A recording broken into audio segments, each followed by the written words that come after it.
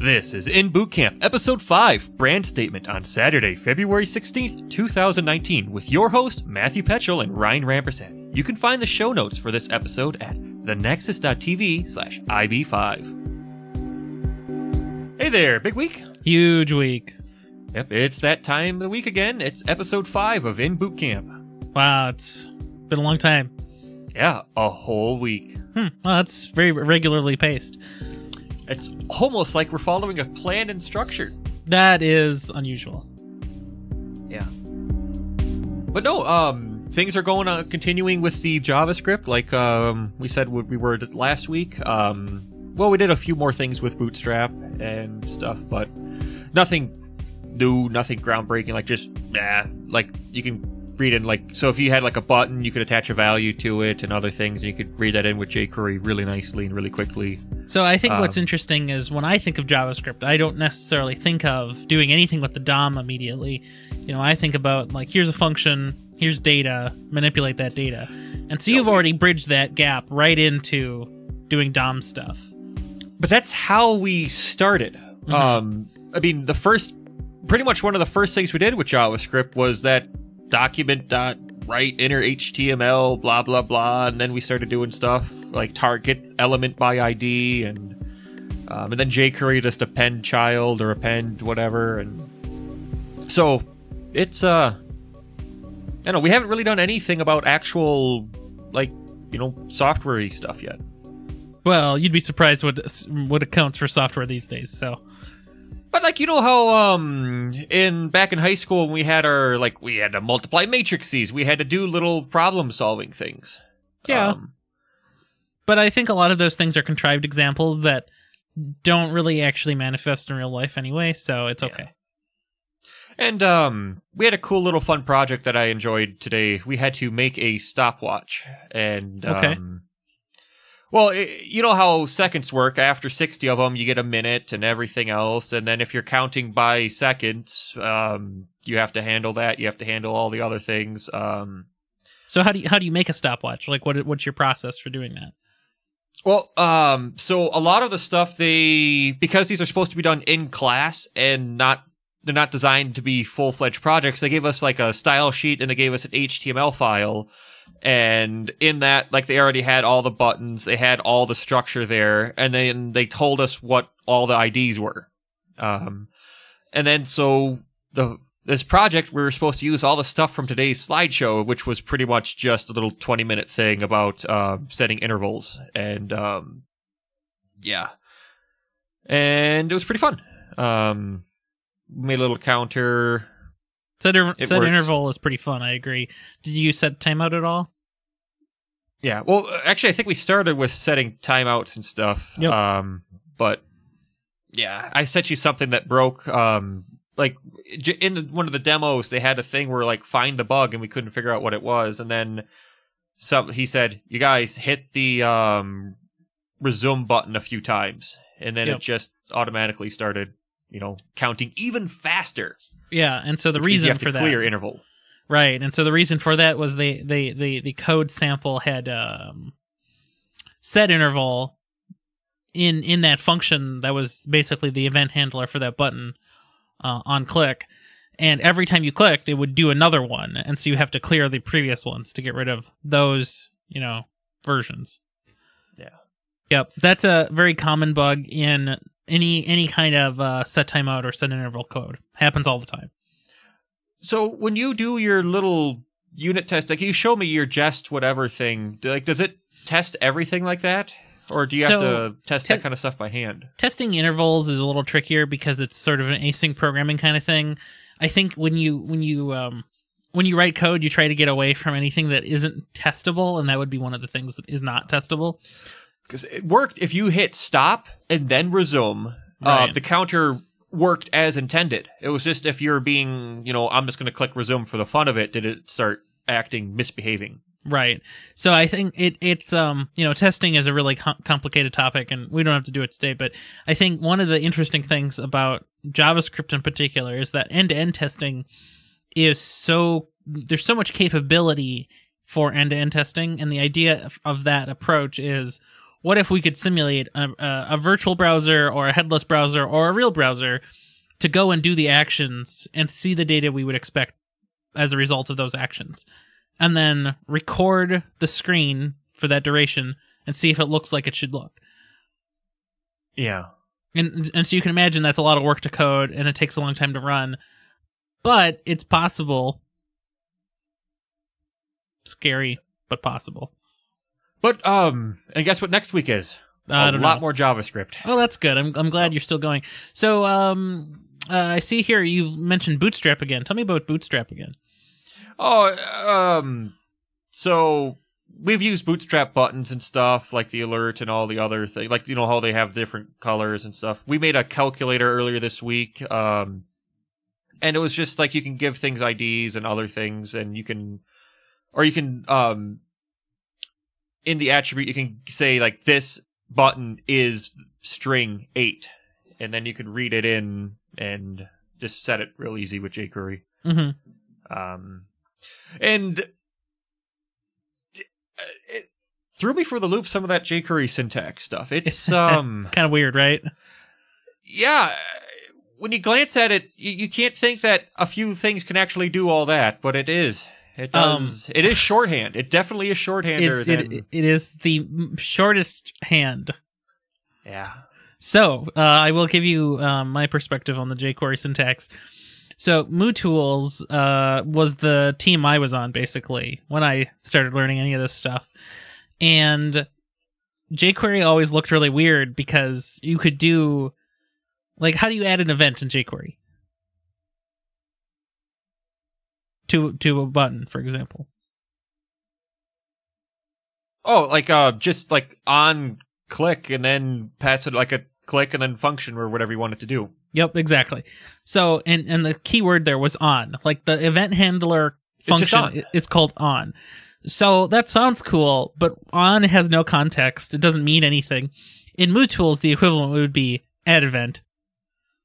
So Ah. the the MooTools API, best written, most coherent, simple, obvious, and intuitive APIs that anybody could make for DOM manipulation and you know associated you know things, utilities.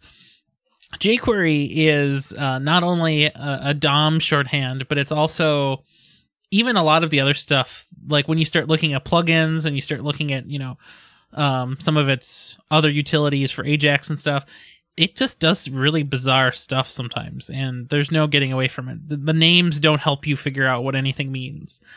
Um, there's just a lot of you know knowledge that you just have to remember.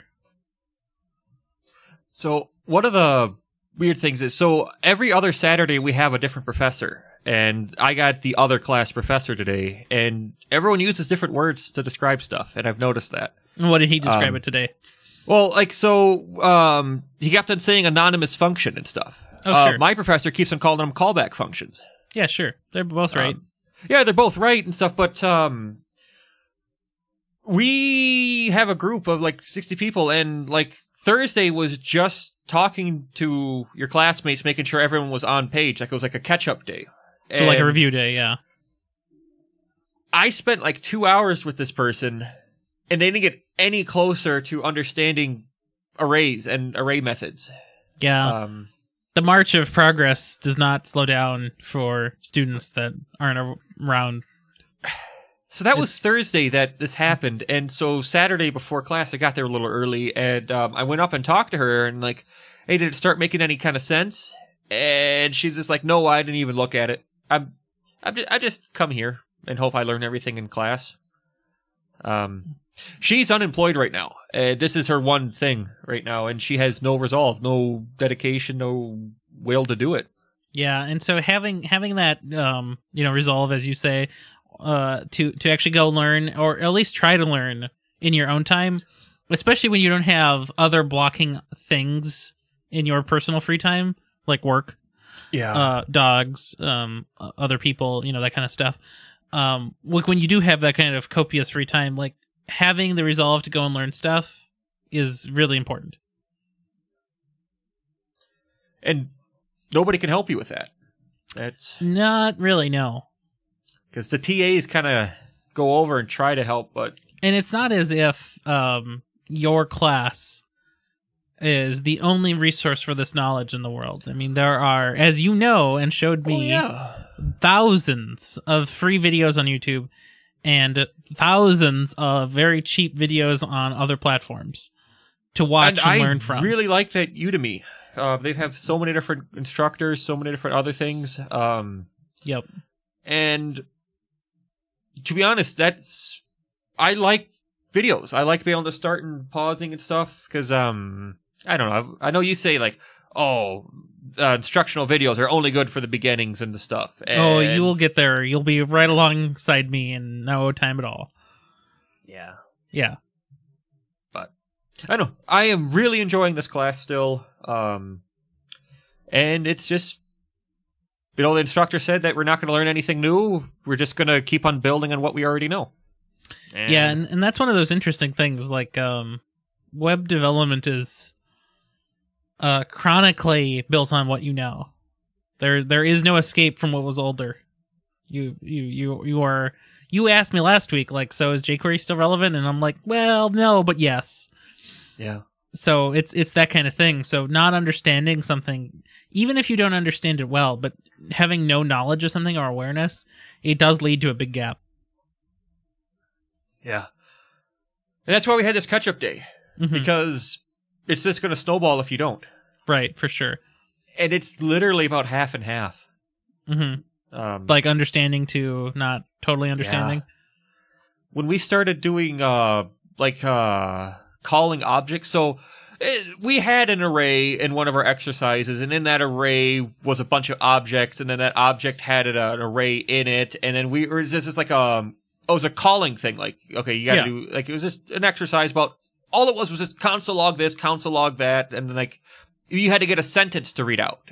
Mm-hmm. Um, and it was just like, um, this is the bigger web, and this is the smaller web. It was just it was a stupid little sentence, but you just it was supposed to get you to understand how to call like you know object dot id like just yeah yeah but a lot of people just gave up you know, I really take for granted a lot of the understanding that I have from a lot of this kind of stuff because I didn't learn Java first. You kind of learned Java first.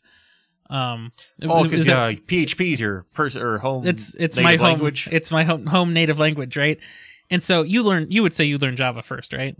Oh yeah, yeah.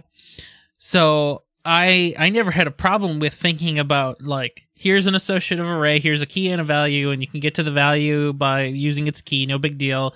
The value can be anything. It could be another associative array, it could be another array, it could be just a number, it could be just a string, no problem. And then in JavaScript, that all is exactly mirrored. And then in Java, none of that makes any sense anymore, but you can still get around it with an array list, and then you can have specialty array lists and so on. So I, I, I feel like I take for granted uh, a lot of that understanding are you happy with how you learned? Oh yeah, it's great. So very organic. Um, a lot of what I've learned before going to work was directly applicable in what I actually do at work. Um, so JavaScript, you would say, is like one of the top languages to have be your first. In the future, there will never be a language that's worse or better or equal to JavaScript. I mean, it, at every point in history, there was always a language to learn. And today, in this year, it might be JavaScript. That's fine. 10 years ago, no, wait, no. Mm, 15 years ago, it was probably probably would have been Java. So like 2005, that would have been a Java time. 95, it probably would have been a C or C++ time. 90 it would have been C. Like there's always a language to learn in the time you're in to get the most capability out of what you learn. Okay. Um and and so what I did in terms of learning though is very organic. Like here's here's a project or a thing that I want. So what do I need to know to build it? Then I go figure it out. Yeah. Um and then and then the other thing though is when you start to show other people your code, even if they don't know how to code or don't care, you'll look at your code again and you'll say, That is the worst code I've ever seen. Get it away from me and set it on fire. That's is wow. Have have you ever heard me say those things? Yeah. Yep. Yep. Yeah. And and how many weeks apart was that? Uh sometimes a week, sometimes like ten years. Yeah. When we went over to the to, right before this, we found I found a zip from my high school sophomore year, um, and it was just funny because you would write comments to yourself, and they are you're making the same jokes as you are today. Yep, still still doing it. It's almost like uh, the brand's on point. Exactly. Uh, speaking of branding, um, I So- heard that you're starting to work on branding. Yes. Um. So, running together with our academic activities, we also have our career resources activities. Um, so tell me more about that.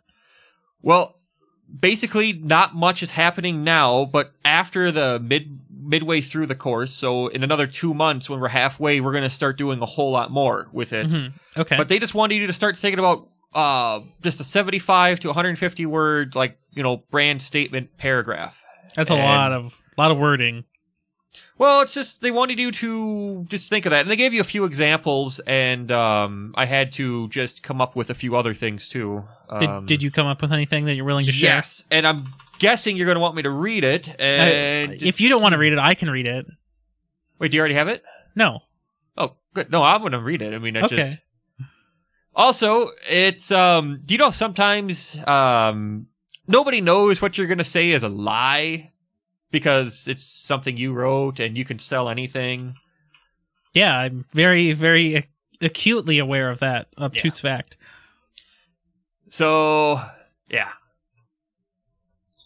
I am a front end web developer with experience with updating and adding new content to old projects and creating new ones. I have a strong interest and passion for technology. I work well in teams and by myself. When I don't know something or fall short, I very quickly learn from it and become a better developer. Each day, I strive to know more than the day before. That's great. I love Let's it. start. Yeah, I, I don't know, but it's just I, I tweaked a few of I saw and made it kind of work to something I know. So I, I, I, I think um when you say that you hate working in teams, you hate working in teams that basically But- make you do all the work. Well, it's just uh, I, I try to engage with my team members, like And they we, don't we were in a group of five, and I'm like, okay, hey, what do we want to do this? What do we, we want to do that? Want to do that? And it's just watching somebody unzip the file that is just like, cause we get a lot of templates and stuff. Like it's just okay. Now we're writing the JavaScript thing. Uh, now now we're just doing that. These people don't know how to use computers. It's just it's Yeah. frustrating. It is frustrating. And so I understand what you mean when you say you don't like working in teams. I also did not like working in teams when I was in college. Um because I often was basically the one to make the whole project and do the whole project and was the whole project. Um and some of that's my personality because like it's easier for me just to do it because I know how and just like don't worry about it. Yeah. Um, but on the other hand, I love working in teams because there's so much I don't know, and there's so much, th- so many things that people do know, and they can teach me stuff, and I can teach them- stuff, and it's it's a good good fun time. Well, that's good. So your your brand statement, where do you what do you do with that? Like when they have you write that, what do you do with it? Uh, my assignment was by Wednesday at midnight to have that in a Google Doc and send them a link that they can view it if they have the link, and that we'd be adding it to my LinkedIn profile and my resume in coming weeks. Cool. Yeah, you should do that sometime. Uh, I think that's a, a really interesting thing. I would be interested if your class has you share that statement with you know some of your peers and like you know hear Oh, what's similar. Here's here's here what's similar. Here's what's different. Um, and I and I wish that the the coursework that I had done kind of uh did some more of that cross sharing. uh, I'm about 33% of the class has signed up to do this. Almost no in my you, just, you table. have to sign nobody, up to do it. Yeah, it's optional. It's optional. Yeah, Why the, is the it career optional? services is completely optional. That doesn't make any sense. Well, the guy next to me is already employed, and he doesn't want to look for another job right now. Um, the person's like, "Uh, I'm moving to Connecticut, and I don't think that they have jobs in Connecticut, so I'm just going to do this class and not worry about a thing." And just nobody cares. So, what is the lesson that you've learned here? Uh, to leave the group behind and keep on moving forward.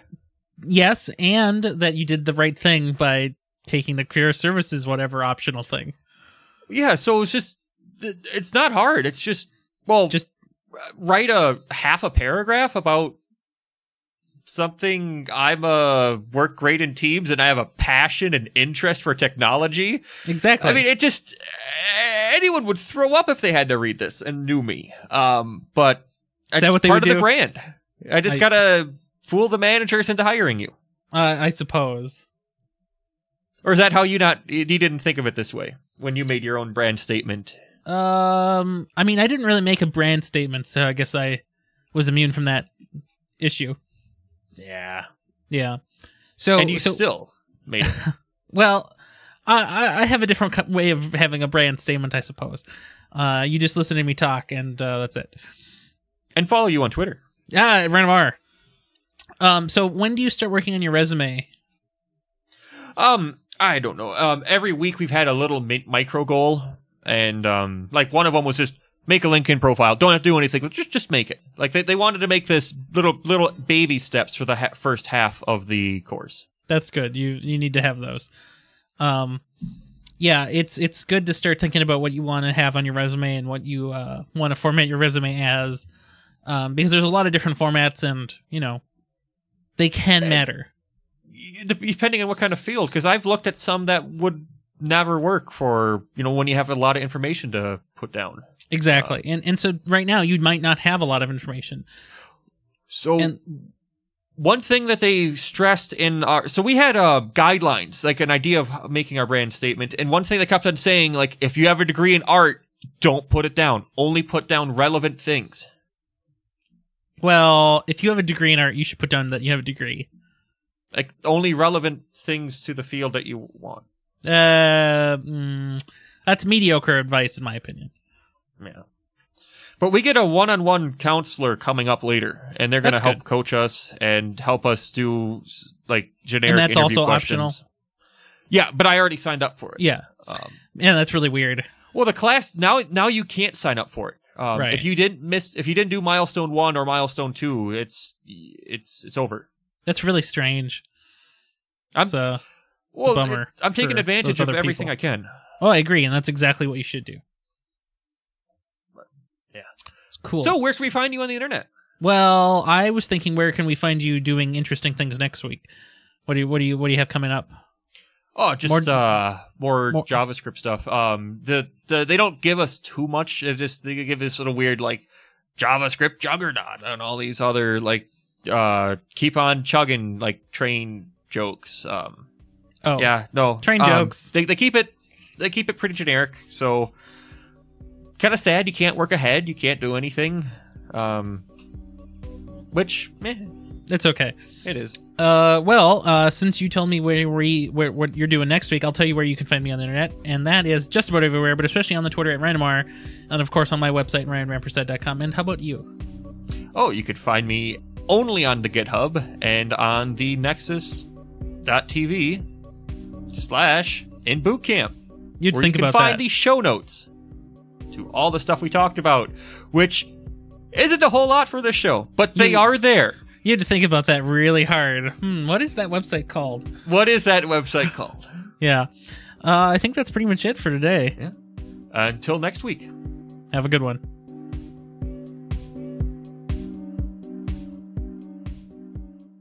The Nexus The Nexus, the Nexus TV podcasts from the Technological Convergence.